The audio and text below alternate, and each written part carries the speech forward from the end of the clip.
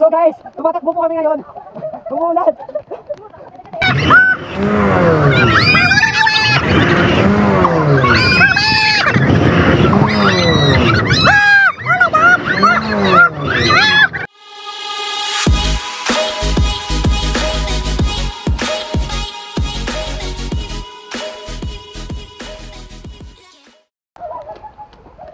So guys, tumatakbo po kami ngayon. Tumulan. Tingnan niyo po. Sobrang lalim.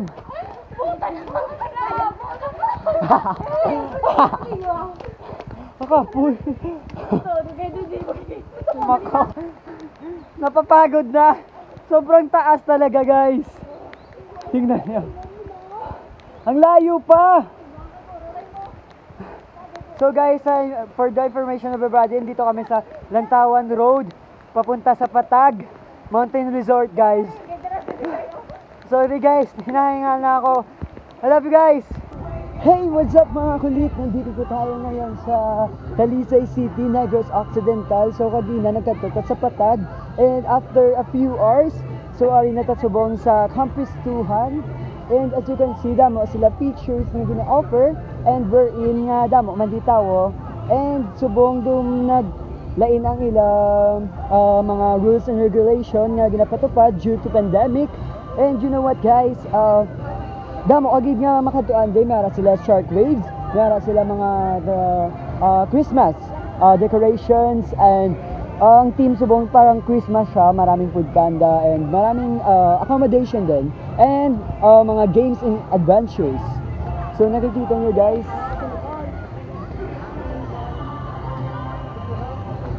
And hindi dito siya, ano ha, hindi lang ganito kalaki. Sobrang laki talaga siya guys. Kaya, dahil uh, meron pa sa taas at meron din sa ilalim na mga features doon. And hope you like it later and God bless you. So guys, share ko lang sa inyo. When I was uh, to, ba- way back 2019 and 2018, uh, kalawa ko, dalawa, ako nakapunta dito ngayon. It is my third time to visit here in 21 and I see a lot of changes and uh, features na in-offer nila. And it's a great experience. Parang pang-family siya and friends. And you can do everything you want, guys. And you can enjoy your vacation here. Sulit talaga, guys. For only 200 pesos for entrance fee. And for the uh, accommodation naman, may iba't ibang variety po. Depende if overnight staying or cottages lang. And you know what, guys? Uh, dito din, uh, nag-celebrate kami ng uh, birthday. Oh, birthday ata. No, birthday ng best friend ko. Noong uh, 2019. Ganon.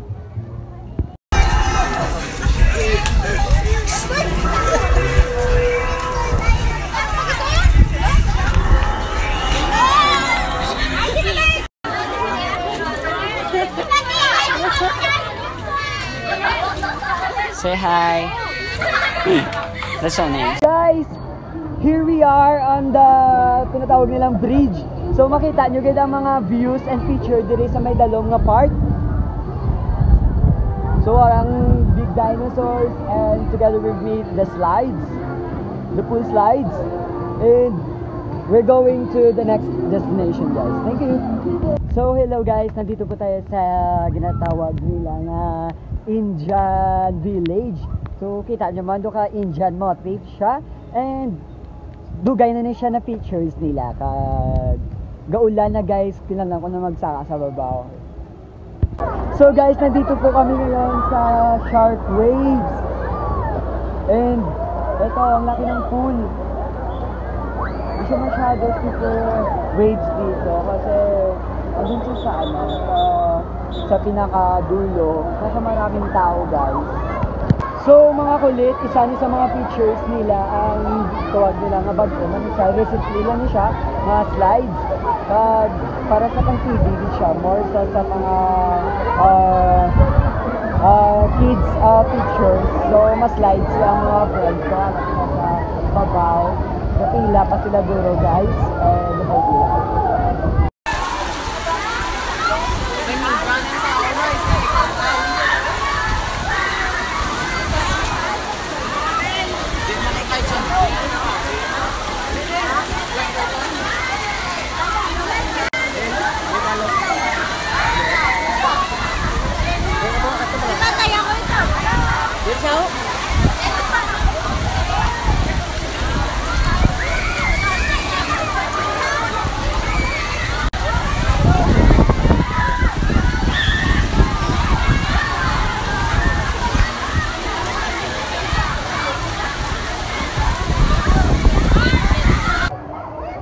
Guys, alam niyo ba, share ko ng experience ko. Hindi ko siya na-videoan habang ako nagsa-slides.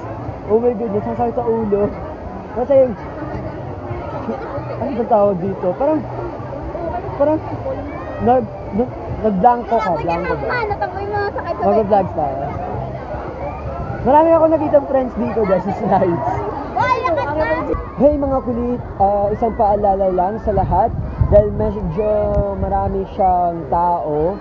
So, dahil pandemic po ngayon, kailangan mag-keep distance po sa mga tao and social distancing. So, okay so, and kailangan nyo din ah, mag-wear ng mask if necessary, hindi pa kayo maliligo sa pool and observe lang, ah, ano ba tawag dito? Ah, ah, social and physical distancing.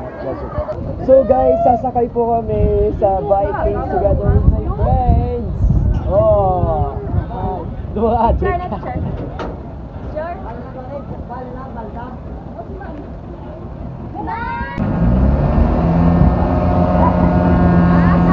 Oh.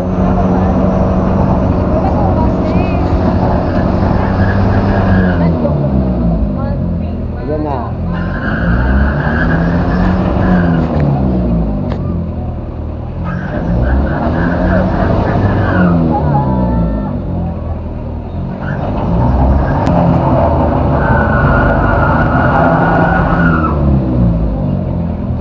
Ayan na guys. Ayan na. Palakas na palakas.